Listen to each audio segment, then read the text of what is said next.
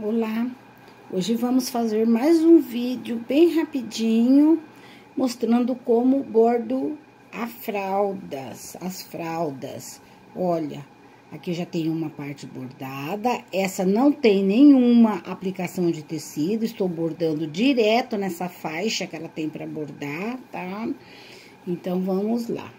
Eu já fiz, hoje estou bordando florzinhas de rococó.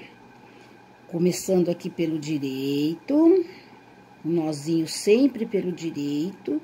Vou dar mais um pontinho para não correr o risco de escapar, porque esse aqui vai ficar bem escondidinho. Vou fazer aqui dois nozinhos de rococó, com seis voltas na agulha, olha. Uma, duas, três, quatro, cinco, seis. Segurando Sempre tem que segurar com esse dedo para não perder o ponto. Aqui vai ser o miolinho da flor. Florzinhas de rococó. Mais uma vez, olha. Uma, duas, três, quatro, cinco, seis. Segurando firme com o dedo a flor de rococó, a gente não pode perder é, o ponto, é, tem que segurar para não perder o ponto. Fiz o miolinho da flor. Agora, vamos trabalhar as pétalas. A linha está aqui. Entro com a agulha desse lado, olha a distância. E saio lá junto da linha. E vou dar aqui oito oito voltas na agulha. Uma, duas, três, quatro, cinco, seis, sete, oito. Desço a linha, seguro firme. Olha, e vou fazer a primeira pétala. Não se esqueçam que não devemos apertar muito é, essa volta da agulha, tá? Coloco, vou introduzir a agulha bem aqui, olha, juntinho da onde saiu, e vou sair bem no meio da pétala, tá? Olha. Novamente, eu venho com a agulha aqui nessa posição e saio junto do, da linha, tá? Então, mais oito volta na agulha, sem apertar muito. Um, dois, três, quatro, cinco, seis, sete, oito. Lembrando que estou atendendo a pedidos de, de uma, uma amiga seguidora, que como eu, também tem problema de trabalhar com o bastidor. Eu não consigo. Bordo assim na mão, tá? Olha, vamos, já vamos ter a primeira é, volta de pétala. Já fiz duas, a gente tem sempre que encontrar aqui, tá? Olha, saí no meio daquela, dessa pétala e vou introduzir a agulha aqui e sair junto da linha, tá? Um, dois, três, quatro, cinco, seis, sete, oito. Segurando bem. Tem que ser bem delicado, porque é um ponto delicado. A, a, o tecido de fraldas já são delicados. Olha, estou com a linha aqui, olha, tá vendo? Eu coloco a minha agulha aonde eu saí e saio no meio da pétala. Eu quero fazer toda essa volta. Vou ajeitando sempre aqui a o tecido, a fralda, o que você estiver bordando no colo. Pra, isso é para quem não usa bastidor. Quem usa bastidor, o processo é o mesmo, a diferença é que vai estar trabalhando com o bastidor. Eu vou introduzir a agulha nessa distância, percebe-se que eu sempre estou trabalhando com a mesma distância. E saio junto da linha, oito voltas na agulha. Um, dois, três, quatro, cinco, seis, sete, oito. Olha, oito. Tinha só sete. Segurando firme, se não muito apertado, porque senão não vai correr a linha. Já estou na última pétala dessa volta. ali, está aqui. Eu vou introduzir a agulha aqui junto e sair bem no meio dessa pétala.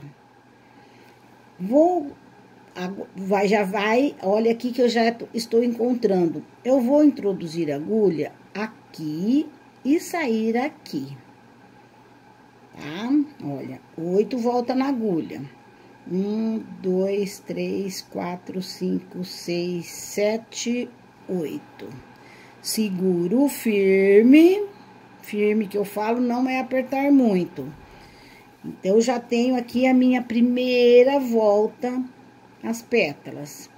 Vou sair novamente aonde saiu a agulha aqui e vou sair no meio. Vou fazer mais, mais uma carreira de pétalas. Agora, vou fazer com 12 voltas na agulha, 12 voltas na agulha, tá? Olha, 1, 2, 3, 4, 5, 6, 7, 8, 9, 10, 11, 12. Novamente, a gente segura. Olha, e vamos fazer mais uma volta de pétalas. Saio sempre no meio aqui, porque eu tenho que completar a, a volta sempre no mesmo lugar. Aqui, saio aqui agora. A mesma coisa, eu puxar um pouco essa linha.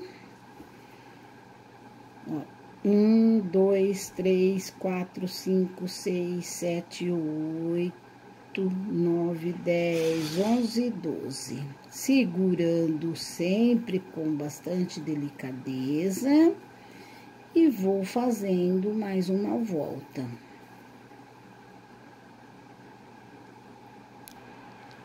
Estou aqui na última. Um, dois, três, quatro, cinco, seis, sete, oito, nove, dez, onze, doze. Sempre fazendo assim que fica mais fácil e não vai enroscar a sua linha. Passando para baixo, para o avesso. Vamos fazer o acabamento.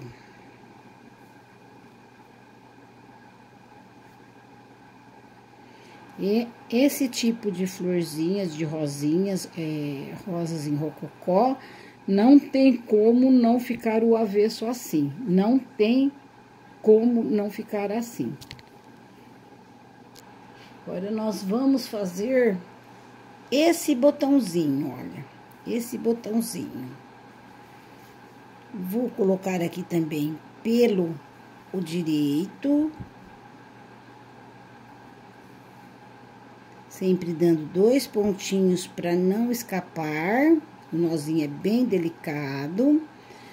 Vou introduzir a minha agulha uma distância que a gente mais ou menos é, imagina uma distância. Podem fazer um risquinho. No meu caso, eu não risquei, mas pode fazer um risquinho. E vou trabalhar aqui com 12 pontos na agulha. 1, 2, 3, 4, 5, 6, 7, 8, 9, 10, 11, 12. Vou fazer o mesmo processo. E vou voltar com a minha agulha, olha, tenho apenas esse daqui. Eu vou voltar com a minha agulha nesse meio do ponto, bem no meio. Vou introduzir a minha agulha daqui pra cá, pra sair junto da linha. Olha, a linha está aqui, eu vou introduzir a agulha aqui e sair aqui, tá? Agora, eu não posso fazer só 12, eu tenho que fazer mais, porque eu tenho que dar toda essa volta aqui. Então, eu vou fazer 18 pontos na agulha. 1, 2, 3, 4, 5, 6, 7, 8, 9, 10, 11, 12, 13, 14, 15, 16, 17, 18. Vou segurar aqui, olha, ela ficou assim. Vou voltar minha agulha aqui no pezinho e vou dar um pontinho em cima para segurar essa pétala. e vou fazer o meu acabamento no avesso.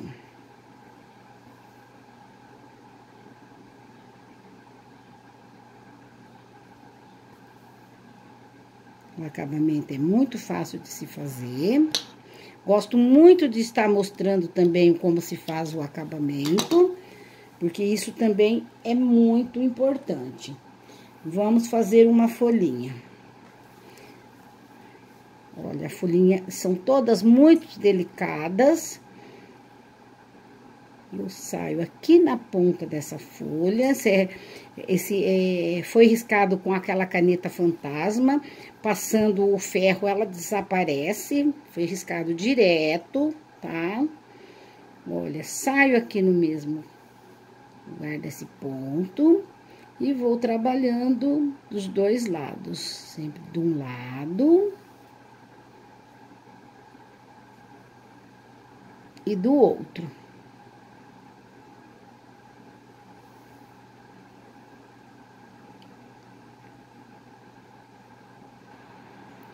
Sempre trabalhando, acompanhando sempre o risco da que foi feito.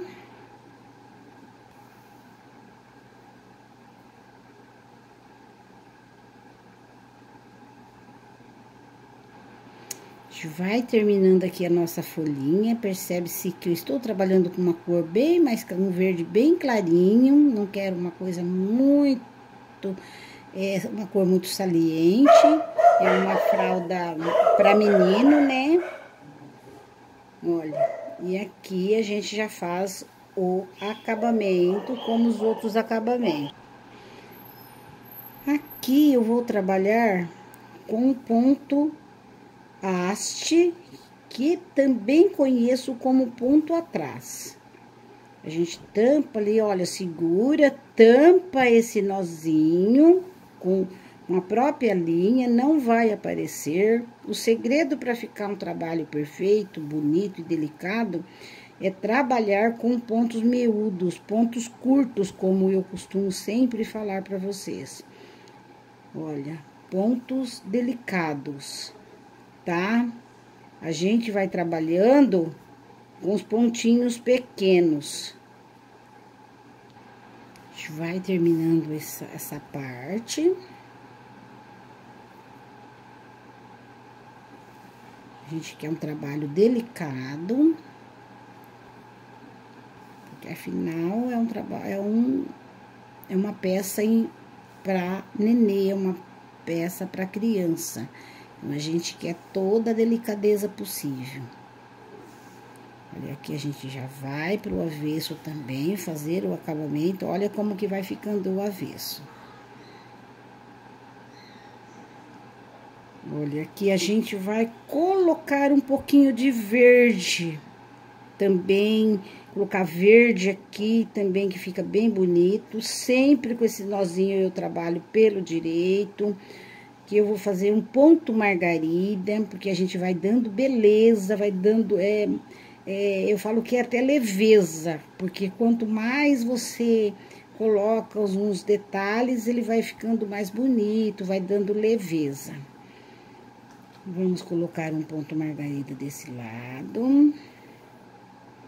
Isso vai muito da criatividade de cada um, tá?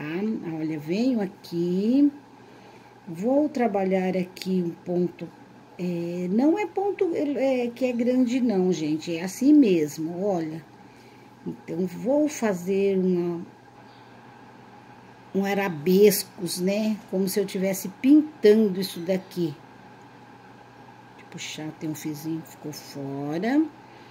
Vou colocando verde aqui em volta. Vou colocar verde né, volta toda, depois venho com mais um tom de azul diferente, colocando aqui em volta.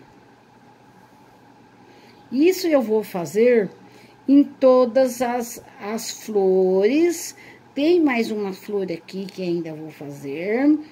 É, vou colocando esses arabescos aqui, assim, primeiro eu termino as folhas depois eu venho com esses arabescos. Coloquei essa para mostrar para vocês como que vai ficando esse trabalho.